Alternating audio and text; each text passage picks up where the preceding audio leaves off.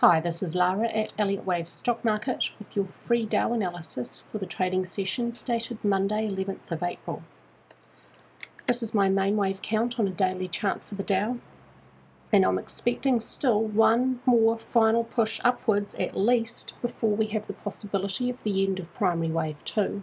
We need to use this big wide blue channel here on the daily chart to indicate to us when primary 2 is over and primary 3 is underway. Draw a trend line from the high of 1 to 3 and place a copy on the low of 2.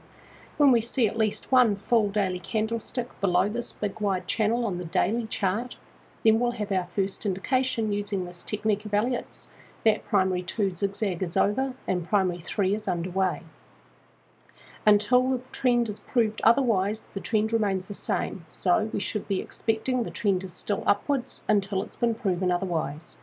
At this stage, the structure on the hourly chart from the low down here on up to the high sees one more upwards push as being required before this could be over.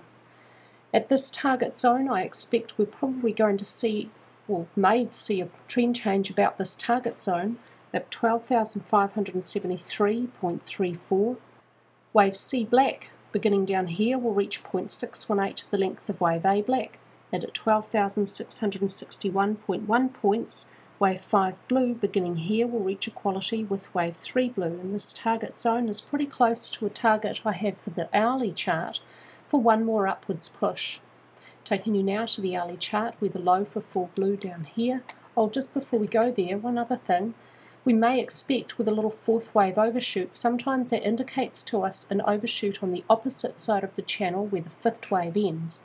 Two pretty common places for fifth waves to end, either midway in this channel, which it's at now, or towards the upper end of the channel, and this may, as I said, indicate an overshoot, so we should look out for that. Taking you now to the hourly chart with a low for 4 blue down here, is this point down here.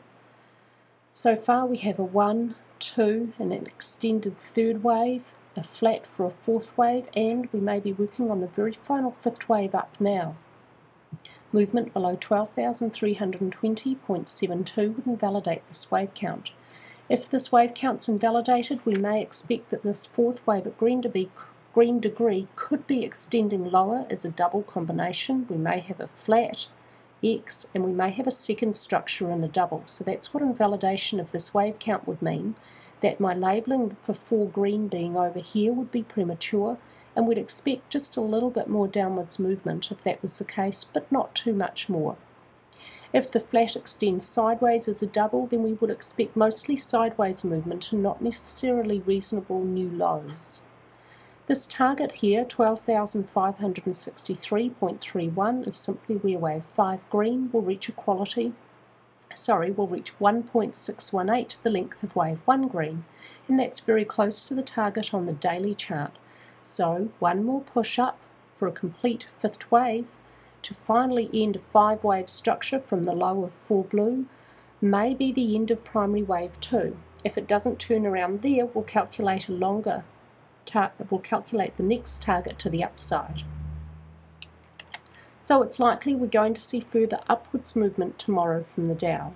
That's all for me today with your Dow analysis. I hope this helps you in your trading and if you would like daily analysis of the S&P 500, you'll find it on my site.